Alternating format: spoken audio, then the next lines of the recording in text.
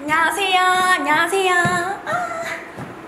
아니 주 기자님 저거 네. 조회수가 너무 안 나왔던데 어떻게 된 겁니까? 아, 진짜요? 아, 살짝 뭐 안무라고? 아, 네. 뭐 어쨌든 네. 근데 저 조회수 별로 신경 안 써요.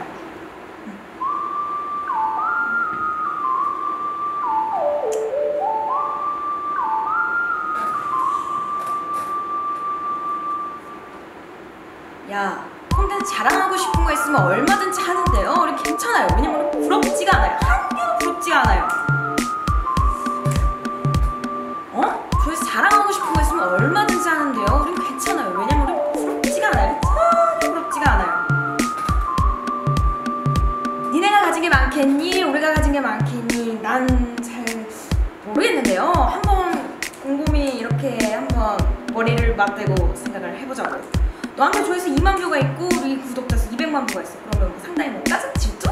아니 네, 뭐 어쨌든 근데 입장을 한번 바꿔서 질문 하나 드려도 되겠습니까? 우리는 과연 조회수 때문에 행복할까? 우리 콘텐츠가 더 좋아서 만족할까?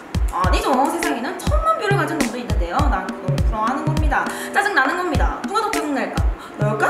우릴까? 잘 모르겠는데요 근데 세상에는 부러움이라는 걸 모르는 놈이 있는데요 그게 누구냐면 바로 GTV입니다